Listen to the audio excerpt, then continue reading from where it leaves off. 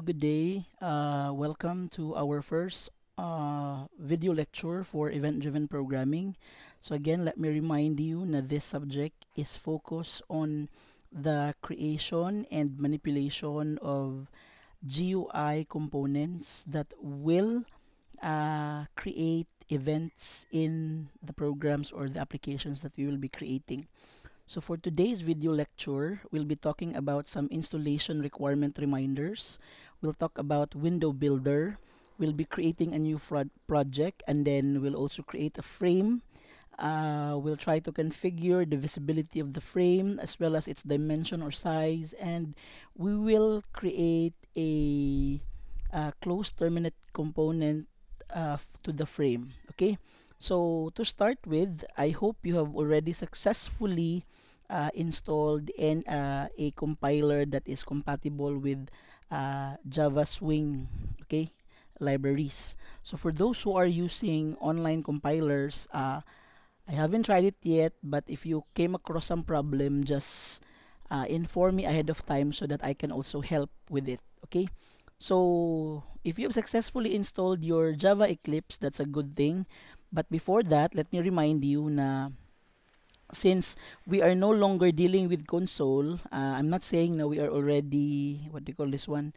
We no longer uh, take into consideration what is written or what will be displayed in the console. What I'm trying to say is that the console will be will only be for monitoring whether our program successfully run or not. Okay. So since we no longer use console as our basis for the output, what you need to do is to check whether if your uh, IDE has a window builder.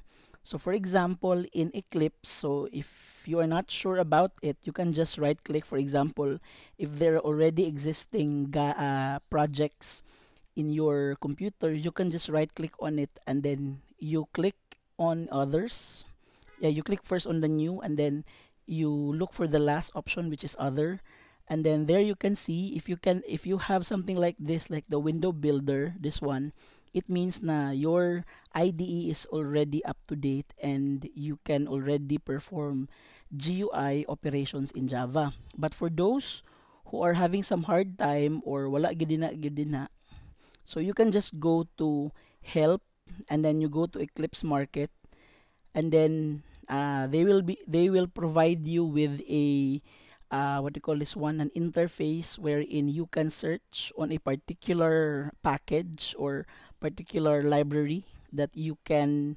download and install okay it would take time because marami yung gumagamit ng ng IDE or ng feature na to so you just search dayon uh, window builder and then you'll be provided with the instructions on how to do it. So just like what I did uh, earlier. So I noticed na hindi gumagana yung program ko.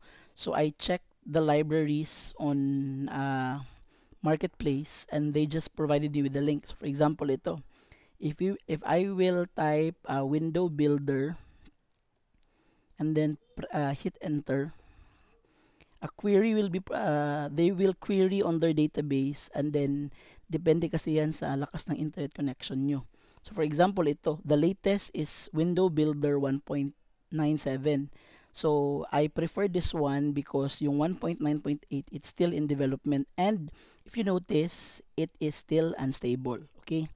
So just click install and then uh, you'll be provided with instructions now on how to do it na dayon. Okay?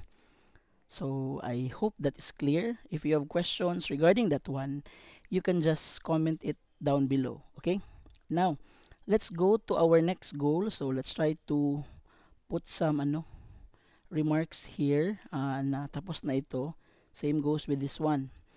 So let's now proceed with our next agenda which is creating a new project. So I think this is already not new to us because you have undergone man this one in your OOP diba you were using already Java for OOP so it's only a review okay? So for those who are using Windows, on the upper left corner of your computer, you can just click on File and then click New and then you click on Java Project. And then a dialog box or a, dia a dialog, uh, an interface that will ask you for the project name will be provided. And then just make sure na the execution environment that you will be using is the latest one which is 1.8 para wala ng problems. Okay, and then if you notice also the purpose of this location or the directory is that if ever you would want to copy the file, you can just go onto this directory. Okay, so for this one or for this uh, activity or for this demonstration, we will use this project name. Okay, so Java GUI uh, 2T. Pag ibig sabihin ng 2T is second term. Okay? Para alam ko na ito yung ginagamit ko na project for the second semester of Java GUI. Okay? And then you just click finish. And then there you have it on the uh, left side of your task pane sa uh, imong compile uh, IDE. You'll be provided with uh, with the list of projects that you have. Okay. So we have successfully created the project. So we'll mark it first done para alam natin kung saan na tayo. The second one is that we will try to create the frame using window builder. Okay, I'm sorry. Let's go back to our Java Eclipse. So since we are putting all our source codes here, what we will try to do is that we right click on it and then we click on this one, the last option, and then we look for window builder and then under window builder there will be some uh, subfolders. So you go to swing designer and then you go for JFrame since we will be dealing with uh, JFrames muna okay? Just click next and then the very basic natin is that we'll create a main frame natin okay? We'll just click finish and then if you notice bibigyan tayo ng uh, template on ano on a frame. But since we would want everything to be understood, so we'll try to create first at to create it from scratch, like from zero talaga. So we'll delete this one and then we'll try to code manually. So the first thing to do is that you import first your library. So for this demonstration, I'll be using uh, Java Swing libraries. Ayan. Pansin nyo, uh, med, uh, not pansin but to be reminded si Java GUI especially those who are dealing with uh, window builder they are very particular with uh, they are case sensitive like yung uh, they will mark it wrong if it's if it's eh, if yung lower case is ginawa yung upper case tapos yung upper case ginawa yung lower case. So be careful on that. So let's create since this one is named as uh, public so we will try to create a public class with a name na main. And then we'll create the basic argument uh, ayan.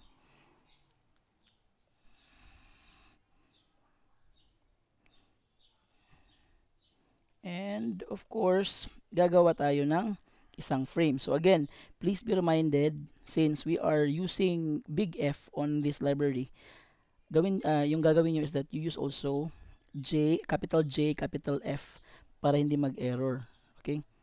And then you have this one. Ayan.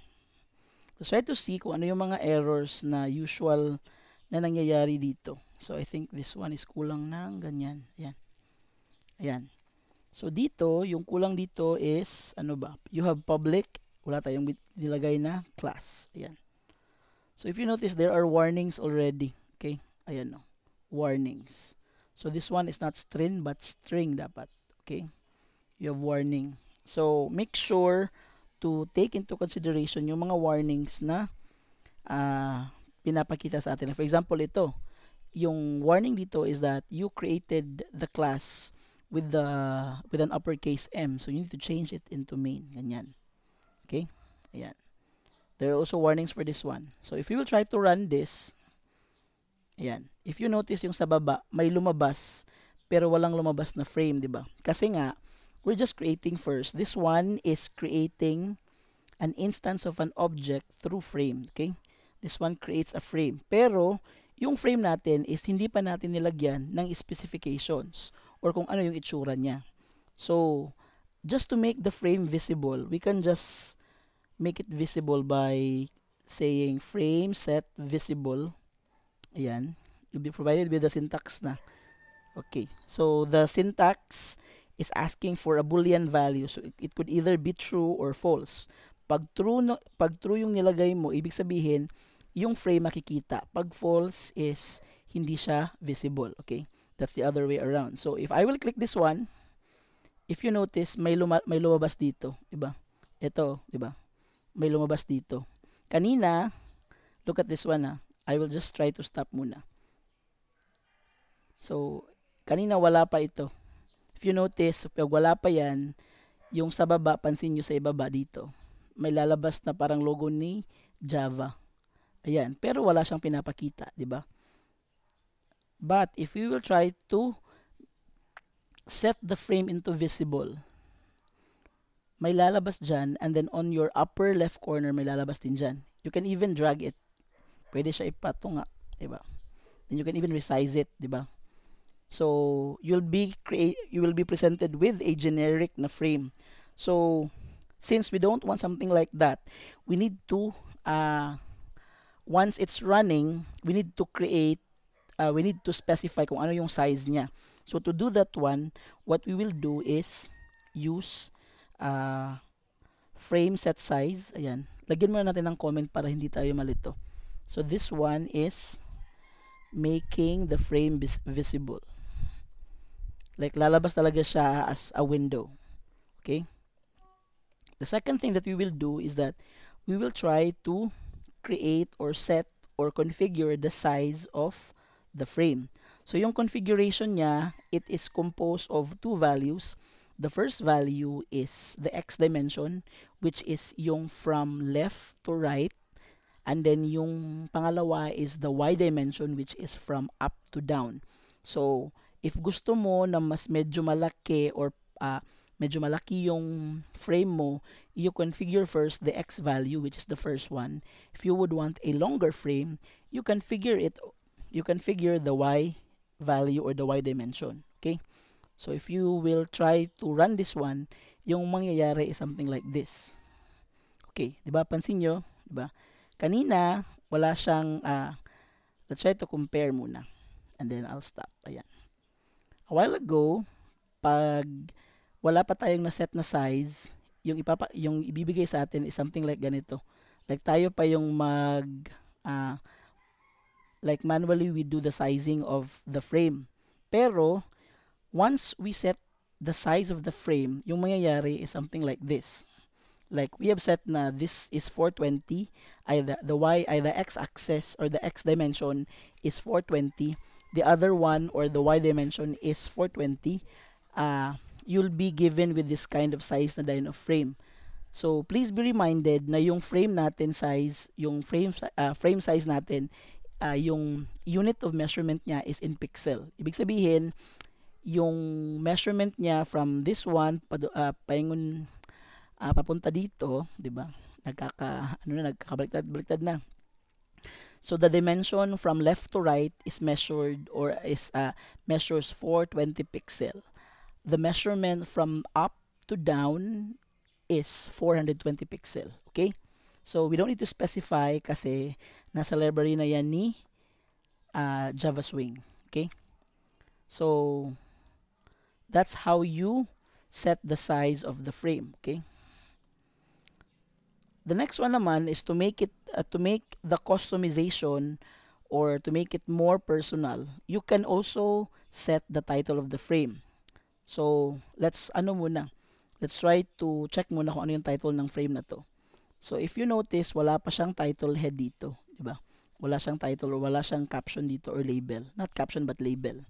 So yung gagawin natin is that we'll try to make it personal. Lagyan natin ng name natin dito, okay? So to do that one, to do that one, uh, what you need is to type frame dot set title, 'di ba? Ayan oh. 'Di ba? Andiyan na yung syntax tapos you just just need to type na lang the value. So for example, this is my first frame. Ganyan. Or name. Hmm. Or you can just type your name later na. Okay? So if you will try to uh, run this one, you'll be presented with a frame that has a title title na this is my first frame. Okay? Name of the frame. Okay. Run natin. If you notice, ayan no, this is my first frame. Okay? Pansin nyo, di ba? So, close na natin. Okay. The last one, ah, wait muna, check muna natin yung outline natin. So, tapos na tayo sa pag-create ng frame. Tapos na din tayo sa pag uh, paglalagay ng visibility option for the frame as well as its dimension. So, the last one, which is quite easy and then is also important, is ito. Uh, if you notice, if I will run this one, 'di ba? And then I'll just close it. Pansin nyo, nandyan pa rin siya, 'di ba? So to close this one, I need to click this button here, the stop button, and then automatic mawawala na siya. So to make your uh, close button or functional or gagawin niya talaga yung ginagawa niya na i-terminate yung program, what we will do is to uh, set its operation into exit on close. So, just type, ano, type lang natin dito, you have frame, ah, sorry, frame that set default close, ayan o, default close. And then, click mo lang yan. And then, you try to put here JFrame kasi yan yung object name natin, di ba? Ay, yung object type natin. JFrame dot exit, ayan, exit on close. So this one is a function or a, a JFrame function that will allow you to terminate the program using the close button, okay? So hindi na natin kailangan na mag uh, what you call this one, press this terminate button dito.